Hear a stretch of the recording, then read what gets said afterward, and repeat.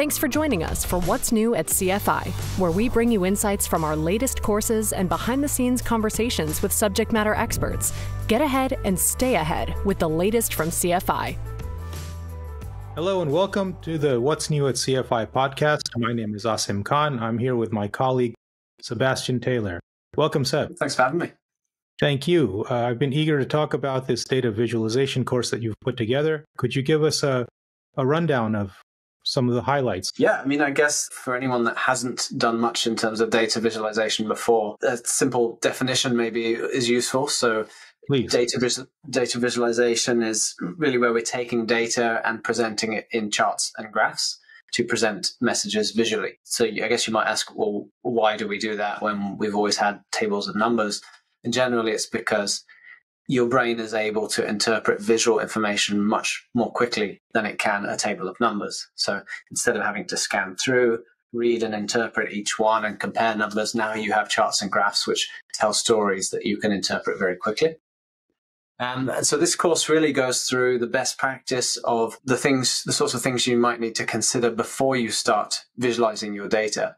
Mainly that comes down to, okay, who are we presenting this information to? And therefore, what is the relevant information that um, that we need to be thinking about. What is their technical expertise? What is the key message in particular that we're trying to communicate? Um, and that really then helps us think about everything downstream from there in terms of the types of visuals we use, um, how to draw out the key messages, and how to bring it all together into a dashboard. So, if I could uh, summarize uh, in my own in- inexpert way, you're talking about identifying the audience and then crafting the story that you'd like to tell using data mm-hmm. visual. Would that be yeah, correct? exactly? Uh, an example we go through in the course is imagine you're a roller coaster engineer and you just designed a new roller coaster and you're going to give two different presentations to two very different audiences about this new design. So the first presentation you give is to um, a colleague who is also an engineer. And he cares about the grade of steel that's used on, on the roller coaster, the average G force pulled around the corners, um, and other kind of strength metrics perhaps um, involved in the construction. Whereas when you go home and give your six year old six year old uh, the same presentation about the new project you've worked on at work. All he wants to know is how many loops does the roller coaster have and how loud is everyone going to scream um, when they go on it. So you're presenting the same thing, but giving different pieces of information, knowing that your audience has different wants and needs. Oh, excellent. And um, in you know, I and I think uh, maybe a lot of people who attempt to do charts and things like that. Um, is there a sort of like a best practice on you know do you use bar charts or pie charts? What what would you recommend or and how does one decide what to use? Yeah. Well it's interesting that you you picked out bars and pies which for me uh, at the two ends of the spectrum of i tend to always use bars if possible and i tend to always avoid pies if possible. And the reasons for those are bar charts are probably I mean, they're pretty boring, really, when you think about it, but they are the, the simplest and most effective way to communicate most messages, I would say, in terms of visuals. Pie charts can be helpful in certain scenarios, which we'll go through in the course, but they're often misused, I think, is why they have such a bad reputation within data visualization and business intelligence. Not least using 3D segments on pie charts, I think that's the ultimate recipe for disaster. But yeah, in terms of which visual to choose, visuals generally serve a certain purpose. For example, bars and columns allow you to compare things across categories. Line charts and area charts allow you to look at trends over some, some kind of continuous axis, usually time. Um, pie charts and tree maps allowed you to see contributions towards a total amount. And so we'll go through the different use cases in the course, the strengths and weaknesses of each, and when might be an appropriate time to use them, depending on the question you're trying to answer. Excellent. And so once we have the audience and the story kind of laid out, where does one go from from there? Are there any kind of um, well, let me ask you this: what sort of um, mistakes are are common in in creating these sort of I would say probably the biggest mistake is trying to cram too much onto one screen. Often that happens from not really being clear about what is the question I'm trying to answer with this visual. If we really think hard, usually there is one or, or, or there are one or two questions that we're really trying to get to the bottom of with a chart. So what is that question? How do we answer it most simply? And all other information that doesn't answer that question really isn't relevant to that chart. Or at the very least, we should be making that supporting information less pronounced so that we're drawing the reader's attention to the to the key message. So you'd say focus the message of the chart first, have that in mind, and then build the appropriate chart. Yeah, exactly. And I would summarize that as less is more. Focus on the question. Focus on the question. Okay. And here, here's another one that always kind of uh, well, one is faced with a lot of possibilities when thinking about colors. Mm-hmm. Do you have anything to say about that? I think in general, using a, a light gray color for most things on your dashboard is helpful because then it allows you to draw out the key messages with your key uh, key colors, um, which you can either use with a, a color that is appropriate to your branding or a color that's appropriate to the message being told. For example, green or blue are often used for good messages, and red is often used for bad messages, at least to a Western audience. Now, you've mentioned dashboard a couple of times, and that's the place where you kind of uh, aggregate all of your charts, right?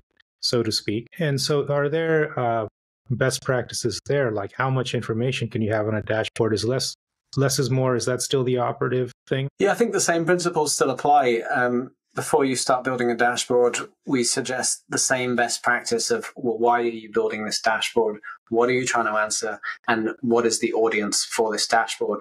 We generally think of, I guess, the most high level type of dashboard would be a, a summary or KPI dashboard that is viewed by senior management in a business.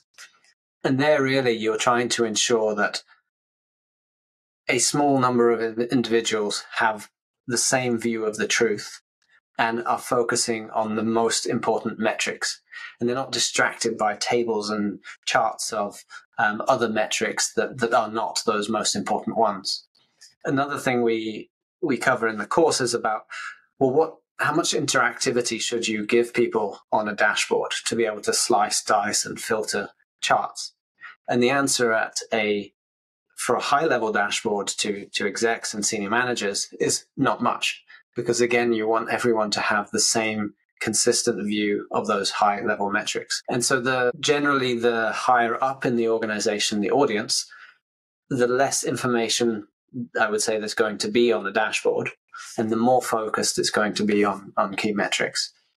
If you take that to the other end of the spectrum and start working with an analyst who has a very in-depth knowledge of a particular area, then they're going to want much more detail in their dashboard, much more ability to slice and dice because they're going to investigate lots of different questions on the fly. So I guess we're down to uh, audience again. Exactly. Yeah. Right. And, speaking one of our to one of our colleagues, Duncan, about modeling, he, he kind of reiterated uh, CFI best practices, which is before you begin modeling, envision the dashboard. What do you want the outputs to be? And then kind of work backwards to model design from there. And I suppose, in a way, when you're doing data visualization, it's the same sort of thing, right? You uh, you'd want to picture kind of what the output's going to look like, who the audience is, and the story that you're going to tell.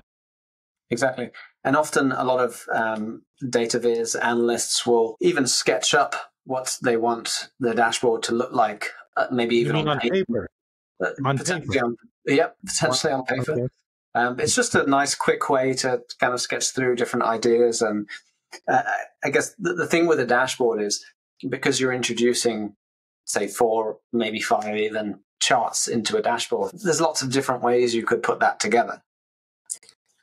When we talk about a data story, it's really about, well, what insights do I get from my first chart? What questions does that present me with? Have you mentioned the number of four or five. Is is that an optimal number of uh, visuals to have on the dashboard? Yeah, it's a good question. I would say there is no fixed right answer. I've seen far less than that, and I've seen certainly far more than that in dashboards. I think it's all going to come down to, again, your audience How much detail do they need? The reason I certainly started with the number of four is by splitting your dashboard into quadrants and kind of having one piece of information in each quarter, that usually feels like a good amount of information to have on a dashboard without it getting too crowded. Certainly, even three or two depth, two visuals is often uh, often enough as well. I think as soon as you start going beyond five, you really need to be wondering, okay, am I losing a focus here? Or is there really a value in me adding more visuals to this dashboard? Got it. And if I could, one last question. So you're an expert in this. When you open up somebody else's dashboard. Mm-hmm. What tells you right away that this is a professionally done and well done dashboard? Oh, maybe t- too, too many things to list, but I'll give you a few. Um, mm-hmm. I would say formatting is probably the one you get at a glance. And whilst for formatting is not the be all and end all of dashboarding, it is important. And so the consistency of your charts, the consistent use of colors between charts, alignment, formatting, white space, all of that stuff matters because if you've got a great looking dashboard, it is going to command authority when you start presenting it. It is going to build trust with your audience. So I'd say that's that's probably the one that stands out before you even start looking at the data. The second is does it give me background or context? So for example, is there a date range on the chart? Is it clear to me what period I'm looking at? If I have a sales dashboard, is it sales for last month or is it sales for last year? And all those sorts of questions pop up. And if you don't have the answers to them, the charts are very difficult to interpret. So I would say that's the second one is everything in the dashboard should be able to speak for itself without me as the audience needing to ask any supporting questions. That's excellent. So thank you, Seb, thank you so much for your time. This was um, really illuminating pun intended. Yeah, and I encourage uh, all of our viewers to check out your data visualization course. It's really terrific. Um, thanks a lot for your time, and I'll, uh, we'll see you again, I'm sure. Thanks for having me. Thanks for joining us today. We hope you enjoyed the conversation. FinPod is brought to you by Corporate Finance Institute, the number one rated online provider of finance and banking training, certifications, and productivity tools.